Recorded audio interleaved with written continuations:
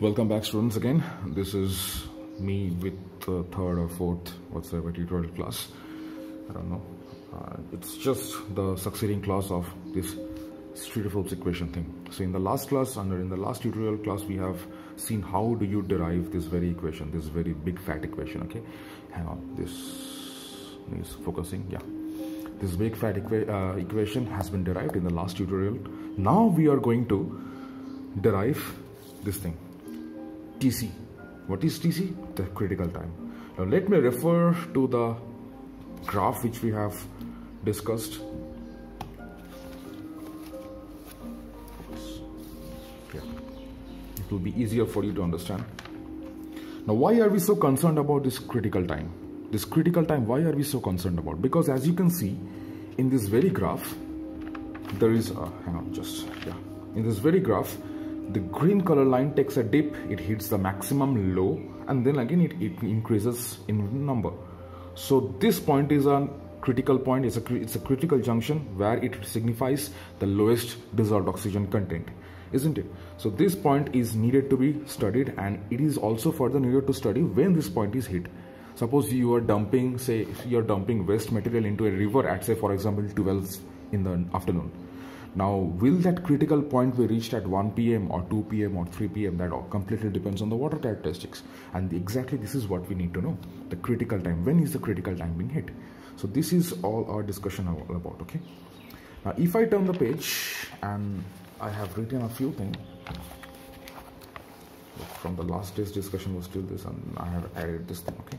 At t is equal to tc. Now, point of inflection is achieved now, do you remember what is point of inflection? I have taught you, I have told you about this point of inflection when I was like, you know, um, discussing hydrographs in uh, engineering hydrology. If you recall it, you may know it. Now, if you do not recall it, I'm always here for you. Point of inflection is a point where the slope of any curve becomes zero.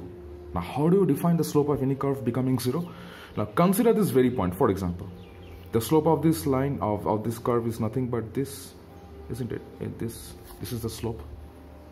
Now this tangent which is nothing but like you know the slope of uh, sorry this line is nothing but the we, it denotes the slope at this very point. Hang on hang on. There is a insect intruding in my room. Let me get rid of that yeah. Hmm. so the tangent at this point is parallel to this axis now any line which is parallel to x-axis is having a slope 0, isn't it? So this point is known as point of inflection. Again, you will face a point of inflection not over here, but yes, somewhere over here. Because as you can see, the tangent at this very point is somewhere over here. यहाँ पर tangent होता ऐसा होता, okay? So this points where the tangent is parallel to the x-axis is nothing but the point of inflection. So at this very critical junction, isn't it? The point of inflection is reached. And what is meant by point of inflection? dd dt. The slope of any line or any curve is at any instantaneous position is given by the term dd dt or dx dt. Since it is t over here, so we are considering dd dt. So dd dt of what? Of this d. Isn't it? So we will just apply this concept in this formula. In this very formula. So we have to differentiate this and this will become is equal to 0 because the slope, the dd dt is actually 0 at this point of inflection. The slope is 0. So differentiating this will give us 0. Therefore, at time t is equal to t is equal to tc, point of inflection is achieved. Therefore, dd dt is equal to 0. So just differentiate it or see d of ddt of sorry it's a big thing okay? Please do not lose your focus over here because we are dealing with very delicate terms and concentrating on what we have. Minus e to the power minus krt plus d naught into e to the power minus krt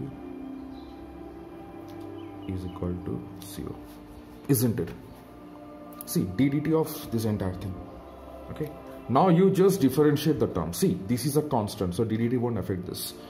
This isn't a constant because there is a term t and, the, and there's a variable t and the variant is dt so this term will get differentiated. Similar is the case with this also because you have a t factor over here and also the same case over here. So this term will be exempted. Let's see how does it look like? So this is a constant. Kd into l naught by kr minus kd now what is ddt of this? Ddt of e to the power t will be e to the power t. And ddt of e to the power minus kd will be just this minus kd constant where factor will come outside. So minus kd into e to the power minus kdt similar is the case over here. Minus kr will come outside into e to the power minus krt and what in this case? Same. D naught will be exempted. Ddt of this isn't it? So minus kr into e to the power minus krt is equal to 0 it's becoming clumsy. Let's go back to the I mean go to the next page okay?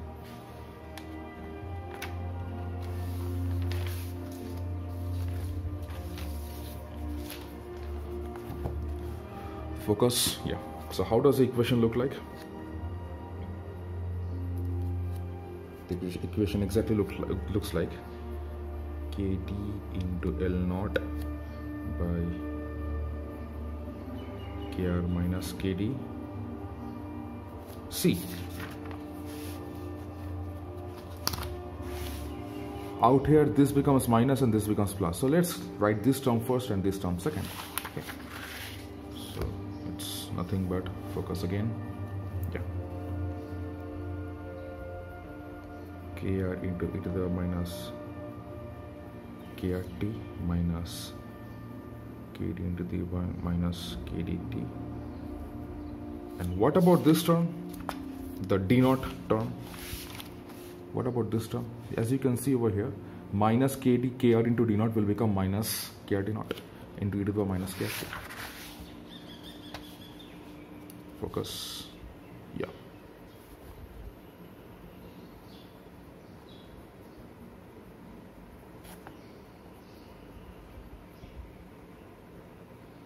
Is equal to 0 isn't it? Is equal to 0 isn't और rather is equal to zero को थोड़ा step jump करके ये equal इसको इसको, इसके ऊपर मतलब I mean this term has to be transfer to the other side so why not we write down like this? The same thing. So this equal to 0 will be just omitted out. Now our main motive is to find out this t. Just find out find out, find out this t. Okay and one more thing which i forgot to mention. At t is equal to tc this t's will no longer be any random t. It will become t suffix c so every time just write down t suffix c t suffix c. So this will be t suffix c and t suffix c. Whereas any d factor will become d naught. So if there is no d factor over here sorry not sorry that is a different thing. D naught is any d factor will become dc okay? Anyway so tc's are taken care of and there is nothing to take care of again for okay so similarly this tc will become t will become tc and this will also become tc and this will also become tc now the main motive the main motive is to find out these tc things isn't it so what I have to do? We have to just take these terms, TC terms to one side of the equation. That is all we have to do. Okay. Now, what I do is, I take this entire term.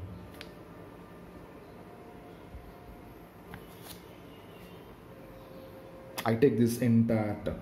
Okay. And I divide this term to this side. Now, why am I doing?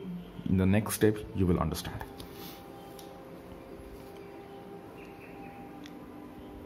Just divide this term to this, or this time, uh, I mean, take this term to this side. So it will be a division. Whatever is multiplicative over here will become divisive over here. So let's break it down step by step only. By kr into kr minus kd e to the power minus krtc into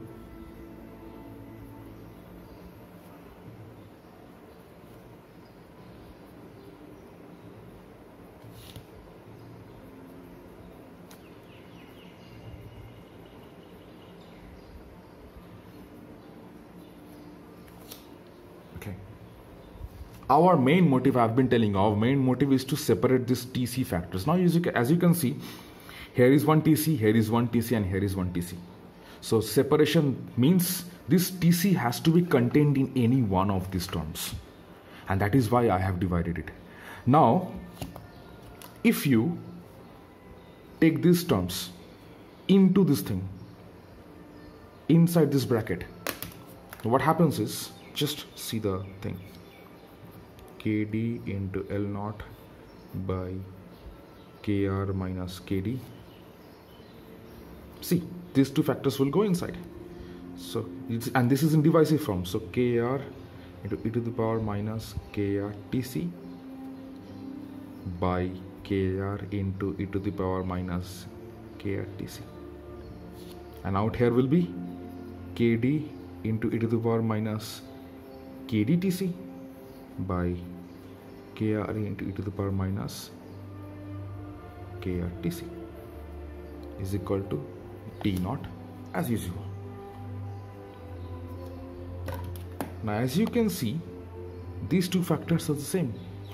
So this will become 1 and you are left with tc only in this term.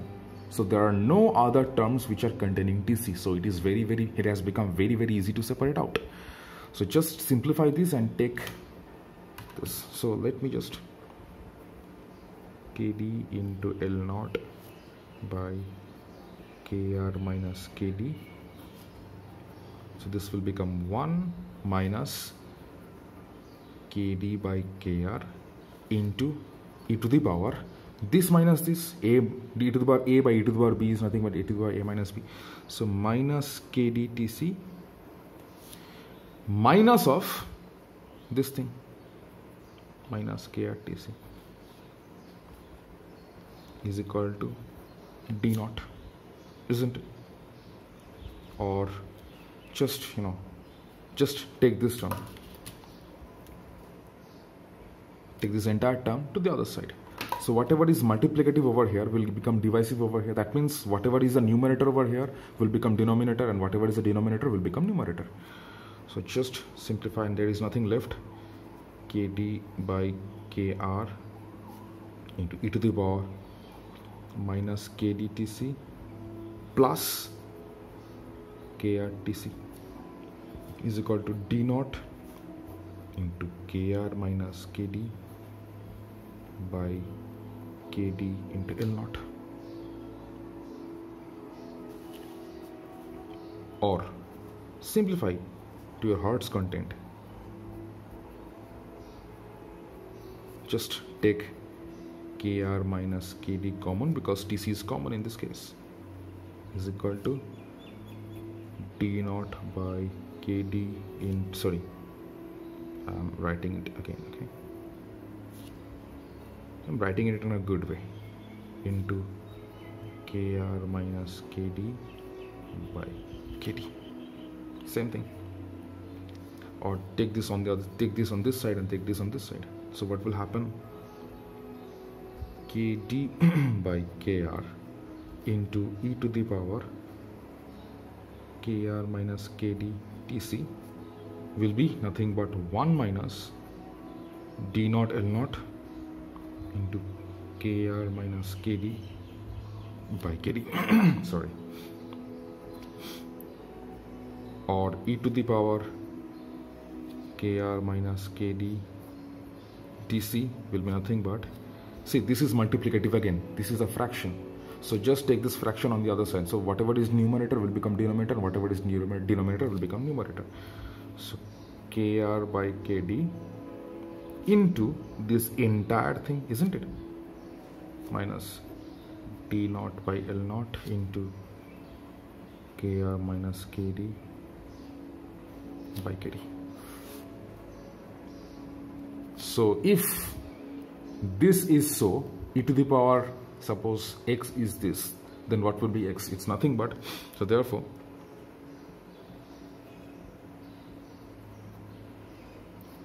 taking log on both sides. Writing it in different color. Taking log base e on both sides we have is equal to ln.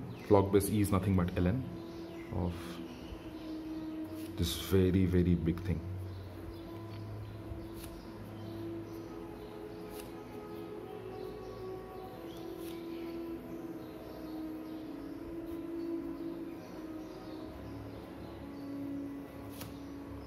You do it step by step you will never forget it.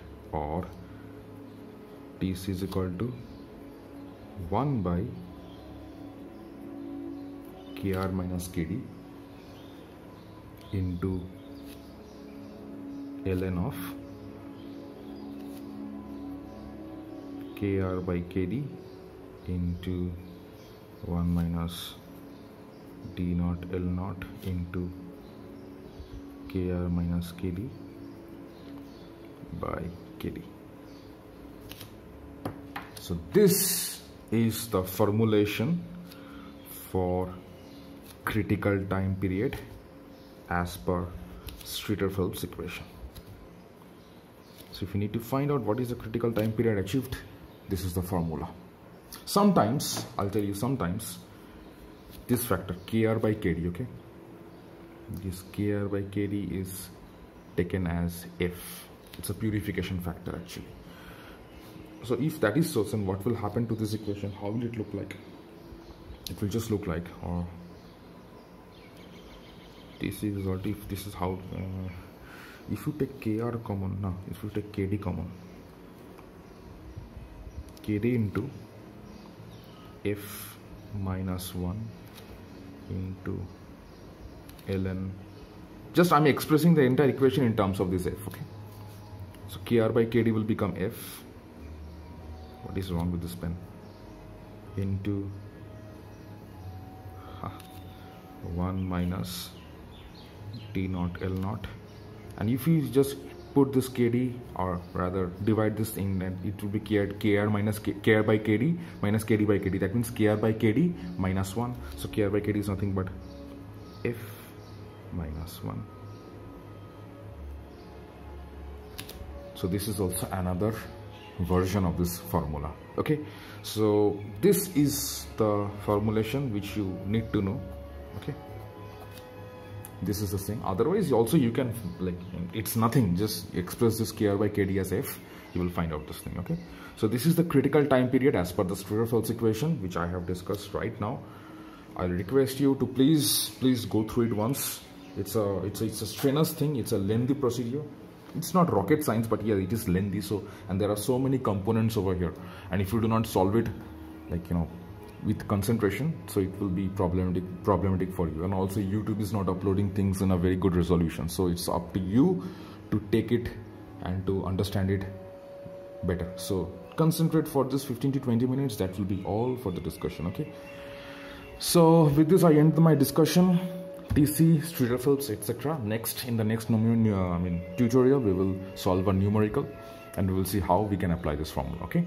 Till then, have a nice time and take care.